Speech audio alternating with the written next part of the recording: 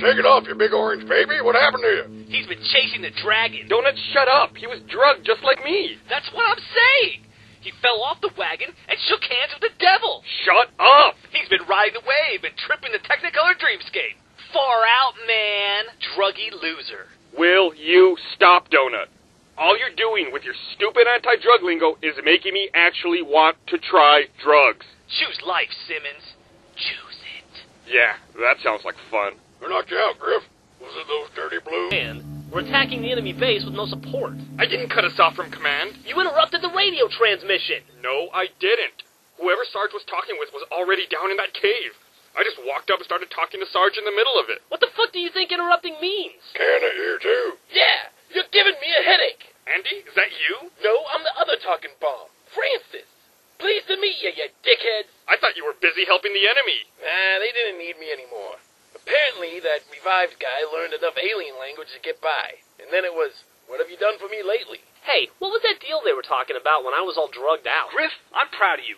Admitting you have a problem is the first step. Fuck off, Donut. Baby steps, Grif. That new alien. That's gay. Oh, let's finish this fight later. Look, what's that? that looks like Sister's armor. Oh no! What happened to her? Clearly she's been disintegrated. Why would they do that? Oh, we can't tell Grif. He's going to be devastated. Tell me what? Tell you that your sister's been vaporized by the blues. What? Sarge! it's just like ripping off a band-aid. Quick and incredibly painful. We just talked about this. I thought we agreed not to tell him. What? You really need to start thinking about other people's feelings, Sarge. Son, the only thing I need to do is stay red and die. What? I'm really sorry, Grif. She's dead. How could this have happened? Oh man, that was my little sister. I mean, I know we don't always see eye to eye, but I still loved her. This has to be hard, Grif. I don't know what to say. I just. I had no idea the last time I saw her was going to be the last time ever. I'd give anything to see her again and just to talk to her one last time. And I'm never going to get that chance. It's the most empty feeling in the whole world. Oh, hey, look! She's not dead. She's just naked. What? That little slut? I'm going to kill her! Take a screenshot. Take a screenshot. Put your clothes back on! What's the one thing I told you? Don't embarrass the family! I don't think she's embarrassing it. Whoa! Why is she doing splits? Uh, is this that Facebook thing I keep hearing about? Does this thing take dollar bills? Come on! That's my sister! And you're looking at her naked! So? She's not our sister. Stop looking at her! Why does Donut get to look? Hey, why does the blue base get so much more natural light than ours? It gives the interior a much more airy and open feeling. That's why Donut gets to look. Oh, look, she's putting her armor back on. Uh, I mean, oh, look, she is putting her armor back on. Good work, soldier. Don't patronize me. It looks like the Blues are having some kind of meeting. What? Right. Caboose, no! Stay back! Don't get near the tank! Ah! Caboose! No! Whoa, looks like the blue one just got killed by the tank. A Blue got killed by their own tank? Man, I just had the weirdest sense of deja vu. Hey, speaking of getting tanked, we should see if the Blues have any beer around here. Hi-oh. Oh, I forgot about Caboose! Ah, I am dead! Caboose! No! Yowza, looks like the blue one just got sniped. Hey, speaking of getting sniped, we should see if the Blues have any beer around here? What the fuck is that supposed to mean? I don't know. sounded a lot funnier in my head before I said it. Man, I just had the weirdest sense of deja vu. Oh, crap. Okay, bye. I don't want to help anymore. Whoa, looks like the white guy just got stabbed. Hey, speaking of getting stabbed, I think I have a headache all of a sudden. For some reason, I want a beer. Man, I just had the weirdest sense of. Man, what's that thing called when you think you've done something but you don't know if you did it? How the fuck should I know? Simmons! Simmons! Man, that thing is loud. What? Come on, let's sneak around the back of the rock and get him out. Okay! Get down! Jesus! Let's go, before they figure out what's going on. Ah, crap. I don't think we're going to be able to get around this way. Tell me again, uh, why did we get out of the Jeep? Well, I guess it was this or sit there and watch you shoot rocks all day long. Well, at least that was fun. Holy crap. What in God's name is that thing? Tucker, Dude, hold still. I don't think it sees us. Why is it just sitting there? Just trying to mess with our head. Let's get back to the warthog.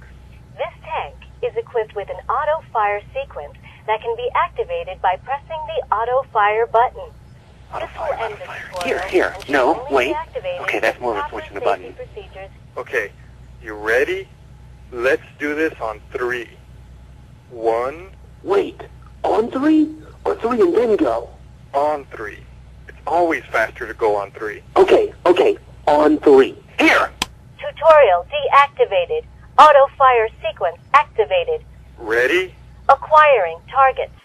I'm going to the Jeep. Cover me. One,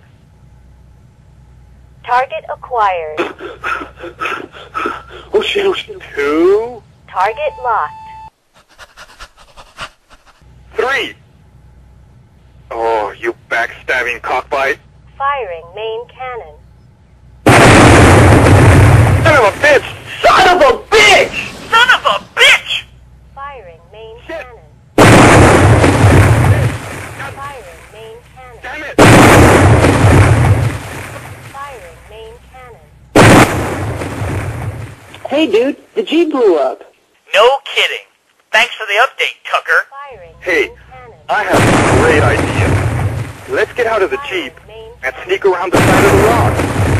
Great plan, you idiot! Reasons of dementia, The tank was real! and he's been ordered by the judge to stay at least 200 yards away from us. Oh, come on, that wasn't a real judge. That was Donut wearing a powdered wig. Over. Overruled. Shame on you. We are now holding auditions for the permanent position of second in command here at Blood Gulch Outpost Number One. What? And since Simmons is disqualified because of the aforementioned cuckoo-ness, and since Grif is ineligible, Or because I don't want to compete? because you're ineligible. No, I just don't want to compete. Of course you don't. Because you're ineligible. Whatever. I guess that means I get the job because I'm unopposed. Which is the same way I got most likely to be fabulous in high school. Actually, Donut, I managed to find some other candidates for you to compete against. Huh? We've located an old wrench used by Lopez and this skull of unknown origin. Some dirt and a rock entered the preliminaries, but they didn't make it to the semifinals. Lazy bastards. Yes. You guys are going down. In your face, wrench.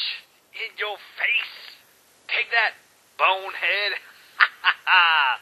Woo. You'll be competing against each other in a series of grueling events in order to gain my attention. First up, the obstacle course. Grif, get the alligators. I thought I was ineligible. To earn my respect, dirtbag, you're still perfectly capable of grunt work. Oh, man, I can't believe this. My life was going exactly as planned. I was second in command of a marginally successful unit.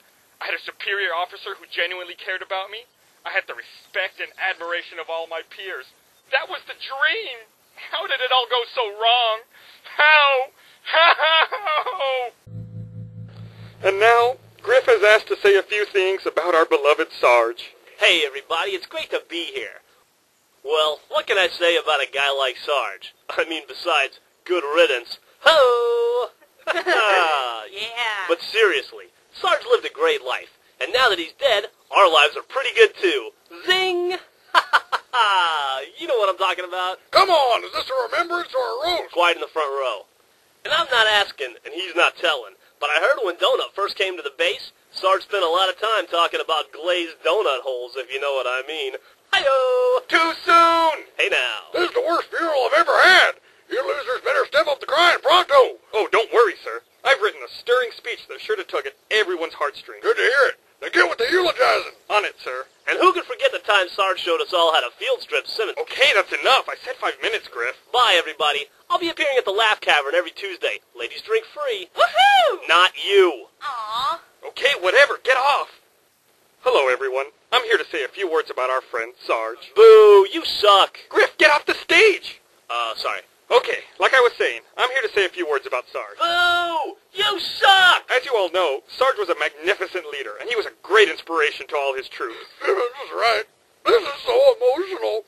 Where's my hanky? He was a man of honor, discipline, and character. It's like he's saying what we're all thinking. If he was saying what I'm thinking, he'd be yawning. But perhaps his greatest accomplishment as a military man Tell it. and a friend Preach on. Preach on. was developing my considerable skills as a soldier and a leader. What? As you all know, Sarge's untimely demise leaves a gap in our command structure. A gap that is best filled by Sarge's right-hand man. A man that has a vision for the red team. Sarge, is, is he campaigning for your job at your funeral? Classy. The Red Army is faced with a difficult choice. The choice of who will lead us to glorious victory. Let's hope they choose a great candidate. A candidate whose armor is actually a shade of red. Sarge would have wanted it that way. Choose Simmons. It's the only thing Sarge did in life, so don't let his whole existence be in vain. In closing, somebody died. Vote for me. Awesome speech. Is this the kind of